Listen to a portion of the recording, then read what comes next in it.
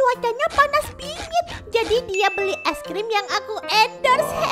Enak. Sampai rumah, si Mixue kecil langsung mandi. Soalnya kalau sekolah itu kan keringetan. Jadi mandi dulu aja biar segar sambil menyanyikan lagu kesukaannya. I love you, you love me. Mixue si manis madu. Sampai tuh ini bisa putar video musik dengan fitur background playback yang gratis. Walaupun layarnya terkunci. Dan ada banyak MV Youtube loh. Semua fiturnya gratis. Ya. Habis itu nyiapin buku buat besok.